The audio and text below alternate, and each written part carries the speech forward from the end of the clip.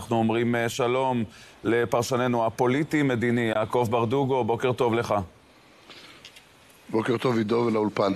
ברדוגו, אז נתניהו שם ברקס לנסיעה עד שהתמלאו כמה תנאים, ואנחנו מנסים להבין מאחורי הקלעים של האירוע הזה, מה בעצם קרה, איזשהו מבחן מנהיגות כזה עבור נתניהו, שנראה שעובר אותו בשלום. איך אתה רואה את זה?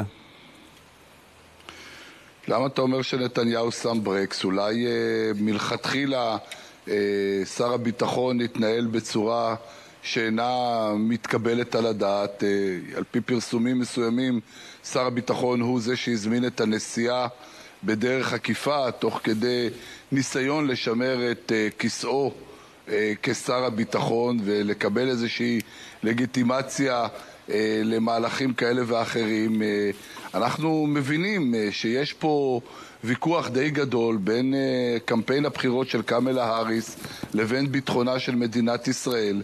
ובאירוע המאוד מוטרף הזה, שבו אנחנו נמצאים במלחמה, וידידתנו הגדולה ביותר אמורה לתת לנו אה, גיבוי ותמיכה, כמו שהיא נותנת וצריכה לתת כידידה גדולה. אה, אנחנו שומעים מנהיגים בעולם, את אה, אה, ראש ממשלת אה, אה, קנדה העתידי ואת אה, ראש ממשלת אוסטרליה, ובכירים בעולם שמבינים שנתניהו נמצא בחזית העולמית של העולם המערבי. והנה לפתאום, אה, שוב פעם, ואנחנו, אמר, אני אמרתי את זה כמה וכמה פעמים, שימוש של האמריקאים בכוחות ישראלים כדי לנסות ולייצר מציאות שאינה תואמת עם הערך הלאומי של מדינת ישראל ותואמת יותר דברים אחרים אה, שלא קשורים לערך הלאומי של ישראל.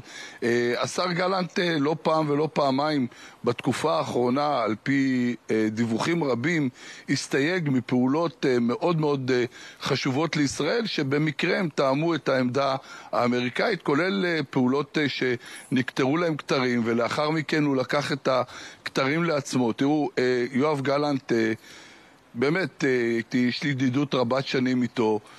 קצת התבלבל בשנה האחרונה, הוא מנתח לעצמו את המצב כאילו הוא ראש ממשלת ישראל ולא היא, הוא לא נבחר לתפקיד הזה, הוא לא אמור לבצע אותו. את המלחמה מנהל הקבינט המדיני-ביטחוני בראשות בנימין נתניהו ולא אה, אוסטין מארצות הברית אה, יחד עם אה, נציגו בישראל יואב גלנט והערכים האלה צריכים להיות מקובלים. הנסיעה של אה, גלנט לארצות הברית לידתה בחטא וסופה שהיא לא מתקיימת כיוון שהיא אה, באה במקום מאוד מאוד מסוים. מספיק היה לראות את הדברים שאנחנו מבינים שפתאום כועסים, וביידן כועס. סליחה, על מה אתה כועס? על זה שאנחנו הולכים להציל את העולם? על מה אתה כועס? אומרת קאמל האריס שהאויב הגדול ביותר של ארה"ב זה איראן. איראן, לא אמרה סין או רוסיה או משהו אחר, אמרה שזו איראן. אז עם כל הכבוד ליואב גלנט, אה, ידיים נקיות לא היו פה.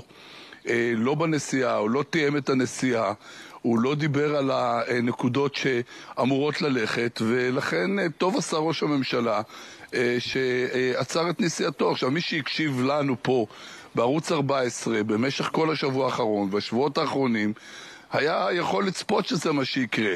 כן. וכולל אנשיו של גלנט שדיברו במהלך הימים האחרונים, שיחקו אותה, אה, מה שנקרא בשפת הרחוב, הבל תרבח, תשחק אותה הבל ותרוויח.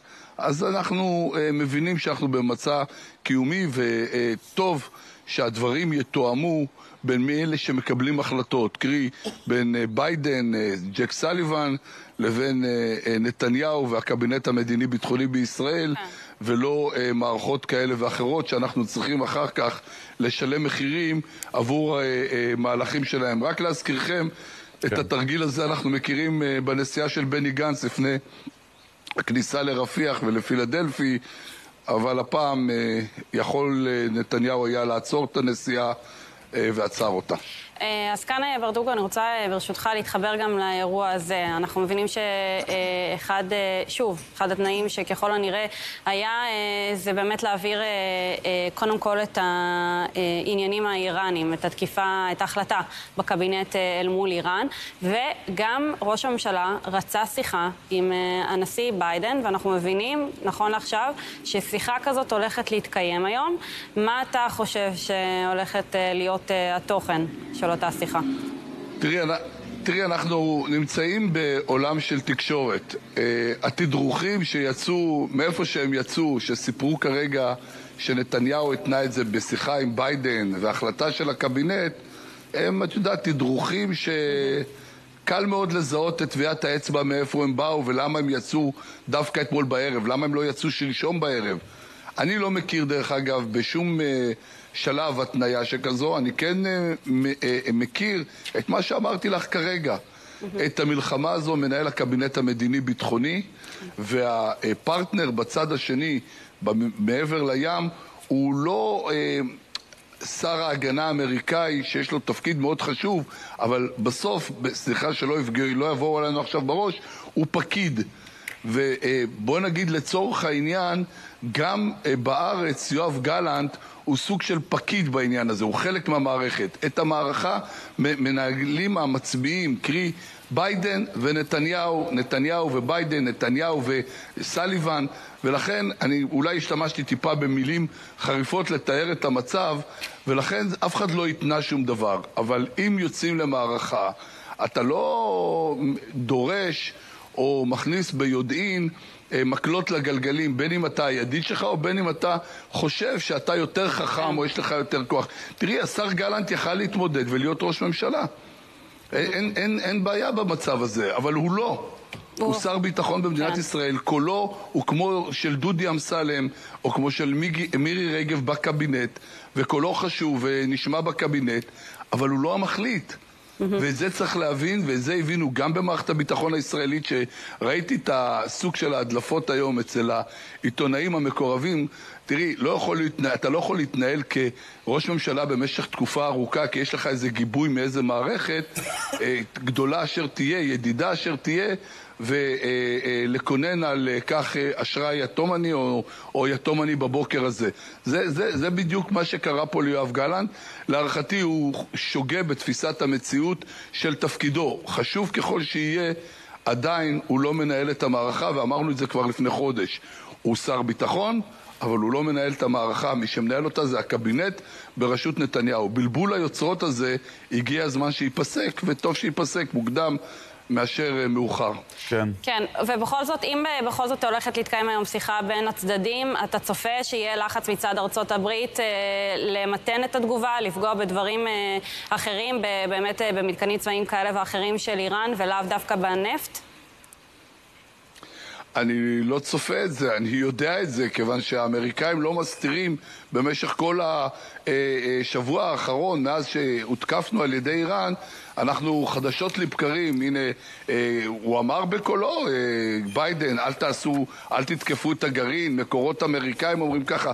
אנחנו יודעים איך העולם הזה חי, וההערכה שצריכה להיות פה, שלמרות הכל, ישראל תעשה את הפעולה המשמעותית כדי להגן על הערכים הלאומיים של מדינת ישראל, ולא אה, על קמפיין הבחירות של קמלה האריס. וזה בדיוק מה שצריך הציבור בישראל להבין. תראו, ישראל עוד הרבה מאוד שנים ילמדו על אותה החלטה של לחסל את נסראללה, שהבוקר הוול סטריט ג'ורנל אומר שאוסטין אומר אה, לגלנט מה? מה? אתה, אתה, אתה מבין מה אתה אמרת לי? בוודאי שאנחנו מבינים. בלי השחמט הזה של נסראללה, אנחנו נמצאים במקום אחר. הבוקר הם מתחננים להפסקת אש. אנחנו חיסלנו את הפרוקסי הכי משמעותי כנגד מדינת ישראל, כדי שאנחנו נוכל בעצם לשבת בבטחה בתל אביב, בקריית שמונה ובכל מקום אחר בארץ. אז אנחנו צריכים היינו לתאם עם האמריקאים כפי שדרש גלנט. גלנט דרש תיאום עם האמריקאים. תיאום עם האמריקאים זה אין פעולה, צריך להגיד את זה בצורה ברורה. תיאום אחר כן. יש תיאומים, יש תיאומים לגבי קורילה והרצי הלוי אה, מתאמים את ההגנה על ישראל. חלק מהחשיבות של ארה"ב, הם, הם אומרים את זה בכל מקום. אה, את עניין הנשק... זה מטופל על ידי מערכת הביטחון.